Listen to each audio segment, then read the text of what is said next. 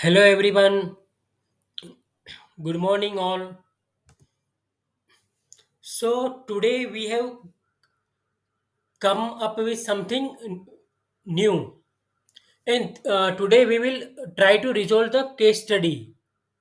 So let me introduce the case study.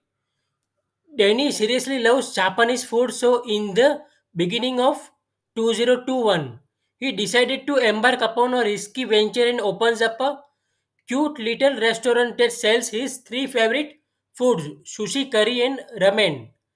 Danny's Dinner is in need of your assistance to help the restaurant stay afloat.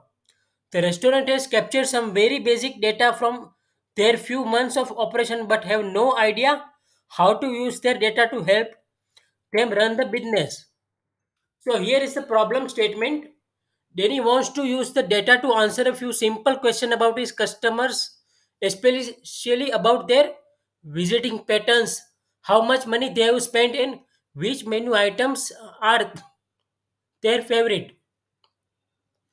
So, having this deeper connection with his customer will help him deliver a better and more personalized experience for his loyal customers.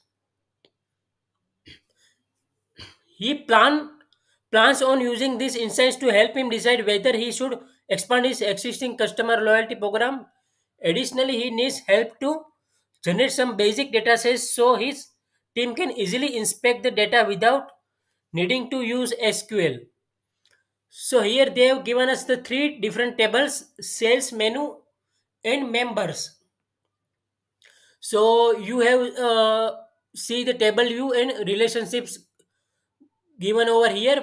Member table is connected with sales table by customer ID column, and then sales table is connected with menu table with product ID column. And this is the sample sample data which is given of all the three tables. So now let's go to the SSMS. So I have created all this table and inserted value into the all these three tables. So I will put these scripts in the description box of this video. Now let me see all these three tables data. So this is the sales table, menu table and member tables respectively. Customer ID, order date, product ID in sales table. Then product ID, product name and price in menu table and customer ID joining date in sorry join date in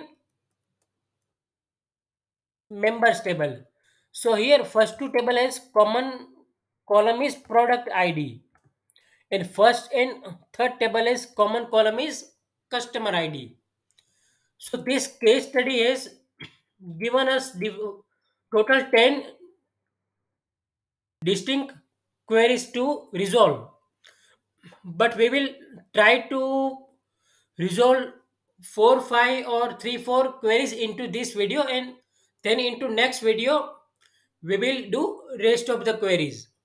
So let me let me go to the first query. What is what is the total amount each customer spent on a restaurant. What is the total amount each customer spent at the restaurant? So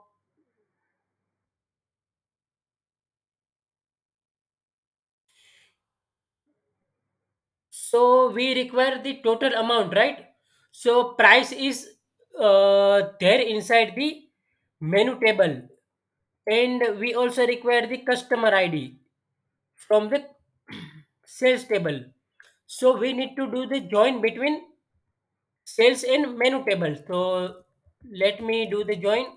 Select star from sales S inner join menu M on S dot product ID is equal to M dot product ID. Now we want customer wise total amount spent. So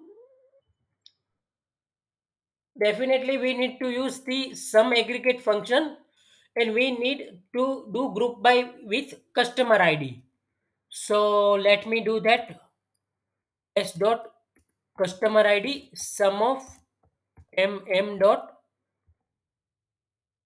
price as total amount spent. Let me do the group by s dot customer id so let me execute the query. Okay so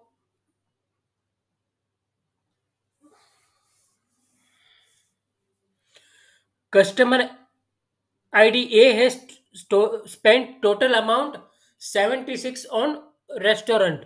Then customer id b has spent 74 and customer id c has spent 36 so this is the resolution of our first query. Now let me try to resolve the second query.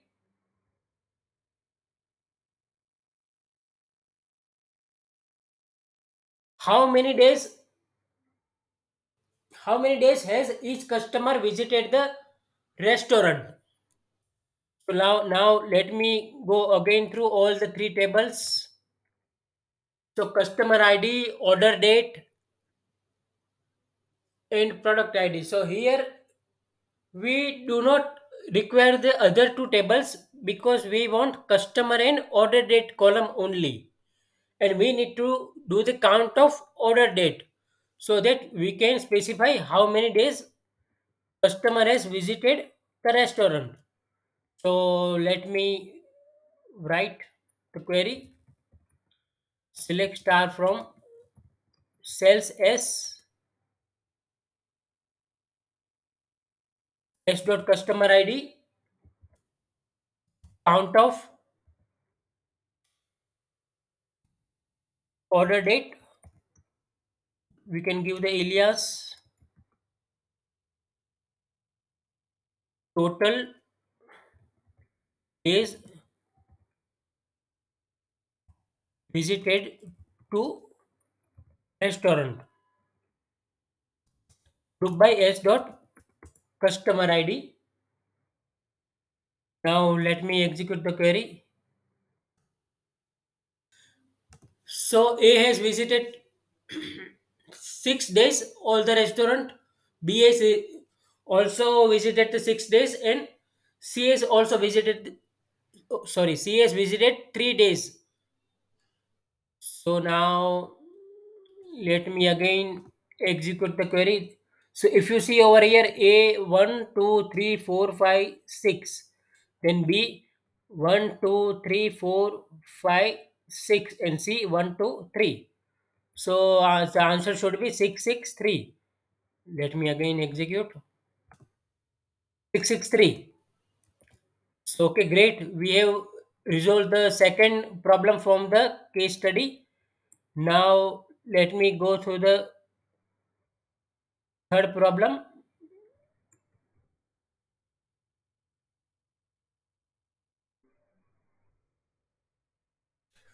What was the first item from the menu purchased by each customer. Okay so here we require sorry let me execute all the three tables again. What was the first item? From the menu purchased by each customer. So if you go to the a then a has minimum order date is 112021 and uh, product id of a is 1 so we need to go to the product menu table to get the product name. So now let me write the query. Select star from sales s inner join menu m on s dot product id is equal to m dot product id Now we require s dot customer id m dot product id m dot product name.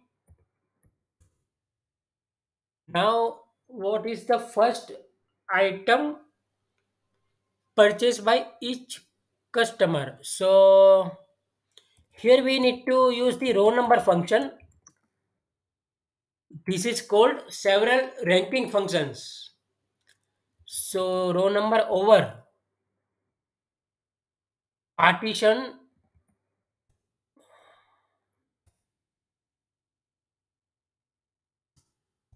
Partition by each customer. Means whenever each word is used. We need to do partition by that particular column. So s dot customer id order by order date. So here we want minimum order date. Means first order date should become first. The next order date should become as second. But we want only first order date. So here we do not need to use descending so we can give the alias to this one. Rk and with this bundle up this code inside the cte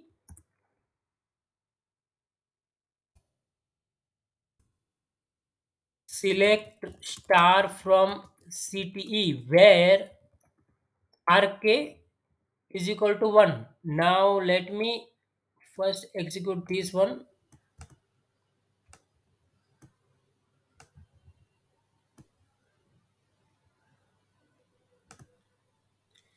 so here a has let me write first item. The order date as well is dot order date.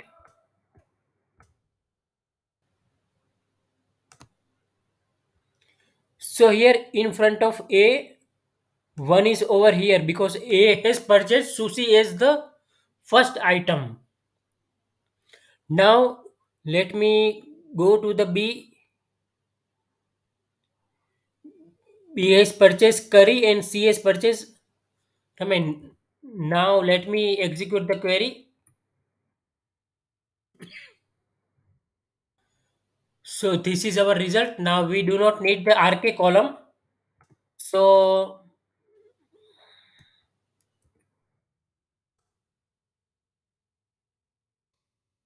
here we need to replace this with cte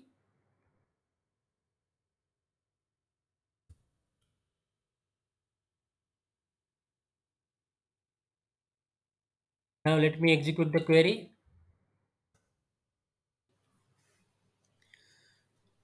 Okay great.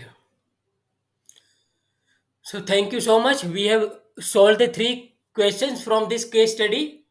Rest of the que- questions we will solve in our next video. If you like this video please press the subscribe button and continue to follow my channel. Thank you